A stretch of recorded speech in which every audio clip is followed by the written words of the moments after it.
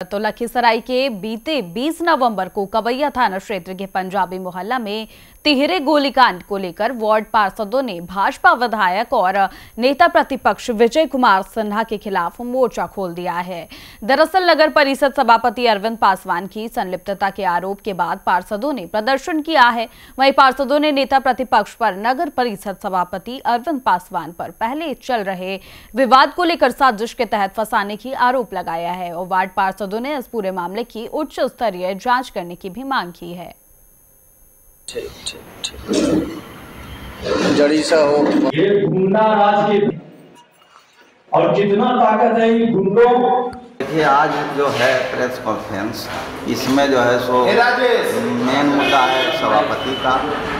और घटना जिस दिन हुई है उससे दो दिन तीन दिन तक बाद पीड़िता के द्वारा कहीं भी अरविंद पासवान का नाम नहीं है। जिस दिन विधायक जी यहाँ पहुँचे और उसको जो है सो काना फूसी करके मुँह में उंगली किया था कि न्यायिक जाँच करे सीबीआई से जाँच करे। कम से कम सीआईडी से तो जाँच कराए। जो उस बिल्ली, जो दूध की रखवाली उसको जिम्मे अरे जो खुद बचाने का प्रथम दिन से मानसिकता तय कर चुका है, दबाव में है, वो क्या न्याय करेगा?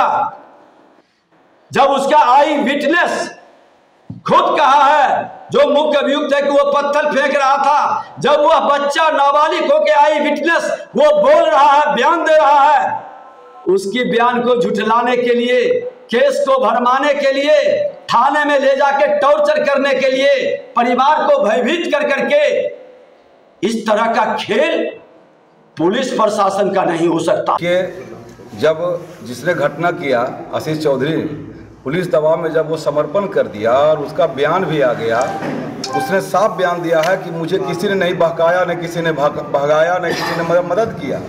हम प्रेम में धोखा खाए इंसान हमने घटना को अंजाम दिया। उसके बावजूद भी स्थानीय विधायक विजय कुमार सिन्हा जी बार